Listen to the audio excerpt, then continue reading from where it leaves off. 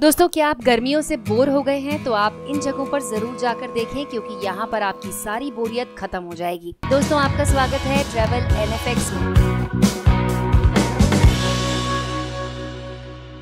आज हम आपके लिए लेकर आए हैं कुछ ऐसे डेस्टिनेशन जहाँ पर आप गर्मी के मौसम में जा सकते हैं। लेकिन अगर आपने अभी तक हमारे चैनल को सब्सक्राइब नहीं किया है तो इसे सब्सक्राइब कर लीजिए, क्योंकि इसी चैनल पर हम आपके लिए लेकर आते हैं बहुत सारी रोचक जानकारी। आज हम आपको भारत के चुनिंदा जगहों के बारे में बताने जा रहे हैं, जहाँ आप समर सीज़न को प्लान कर सकते हैं। आप यहाँ पर जाइए और आपका समर सीज़न यादगार बन जाएगा। यहाँ पर आप वाटर एडवेंचर का आनंद भी उठा सकते हैं। तो सबसे पहले है ऋषिकेश, उत्तराखंड का। देवभूमि भूमि उत्तराखंड में ऋषिकेश अध्यात्म के साथ साथ वाटर एडवेंचर के लिए भी जाना जाता है। गर्मियों के दौरान सैलानियों का भारी जमावड़ा लगता है। पहाड़ों से आती गंगा इस दौरान एडवेंचर का सबसे अच्छा माध्यम बन जाती है। विभिन्न वाटर स्पोर्ट्स का आनंद उठाते हैं। ऋषिकेश में आप कई तरह के वाटर एडवेंचर का अनुभव ले सकते हैं। अगर आप व्हाइट वाटर राफ्टिंग का आनंद उठाना चाहते हैं तो आप यहाँ से कुछ ही दूर पर कोडियाला गाँव का सफ़र भी कर सकते हैं। यहाँ की राफ्टिंग स्ट्रेच काफ़ी रोमांचक मानी जाती है। यहाँ आप प्राकृतिक दृश्यों का भी आनंद ले सकते हैं। ऋषिकेश में आप बॉडी सर्फिंग से लेकर क्लिफ जंपिंग स्पोर्ट्स का भी आनंद ले सकते हैं। इसके बाद है जम्मू कश्मीर का जांसकर अपने रोमांचक अनुभव के लिए जांसकर घाटी समुद्र तल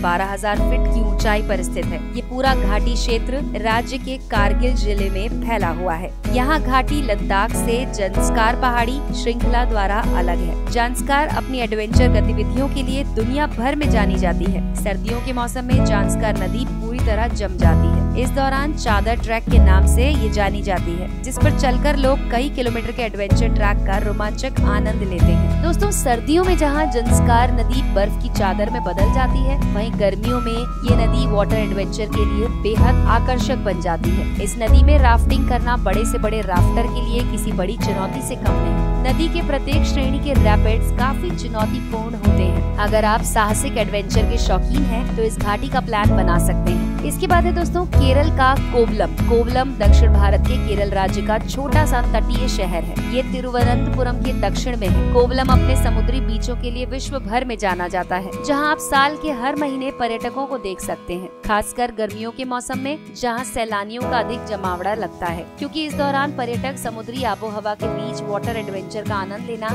ज़्यादा पसंद करते हैं। कोवलम में अरब सागर का साफ़ पानी आपको अपनी तरफ़ आकर्षित करेगा, जिसे देखकर मन में एक बार इसमें छलांग लगाने का तो ज़रूर मनाएगा। कोवलम में बोटिंग और कायाकिंग सबसे ज़्यादा किए जाने वाली वाटर एक्टिविटीज़ है। इसके अलावा आप यहाँ पैरासेलिंग विंड सर्फिंग और वाटर स्कीइंग का आनंद भी उठा सकते हैं। दोस्तों, इसके बाद है लक्षद्वीप का कवरती कवरती लक्षद्वीप की राजधानी है, जो यहाँ के द्वीप समूह का एक भाग है। लक्षद्वीप भारत के खूबसूरत पर्यटन गंतव्यों में गिना जाता है, जहाँ भारतीय सैलानियों के साथ साथ विदेशी पर्यटक भी आते हैं। अपने समुद्री द्वीपों के लिए प्रसिद्ध लक्षद्वीप गर्मियों के मौसम में एक मुख्य गंतव्य माना जाता है, जहाँ ज़्यादातर लोग वाटर एडवेंचर का आनंद लेने के लिए आते हैं। करवत्ती कई तरह से वाटर स्पोर्ट्स के साथ पर्यटकों को अपनी तरफ़ आकर्षित करता है। यहाँ आप कायाकिंग से लेकर स्कूबा डाइविंग और स्नॉर्कलिंग जैसी वाटर एक्टिविटीज़ का भरपूर आनंद उठा सकते हैं। यहाँ के शांत लैगून तैराकी कायाकिंग यॉचिंग के लिए जाने जाते हैं। यहाँ का डॉल्फिन ड्राइव सेंटर काफ़ी ज़्यादा लोकप्रिय है। इसके बाद है दोस्तों, अंडमान द्वीप। अंडमान वाटर एडवेंचर का हब कहा जाता है। अंडमान भारत के चुनिंदा उभरते हुए पर्यटन केंद्रों में शामिल है, जिसकी तस्वीर मात्र देखकर एक बार यहाँ आने का मन ज़रूर करेगा।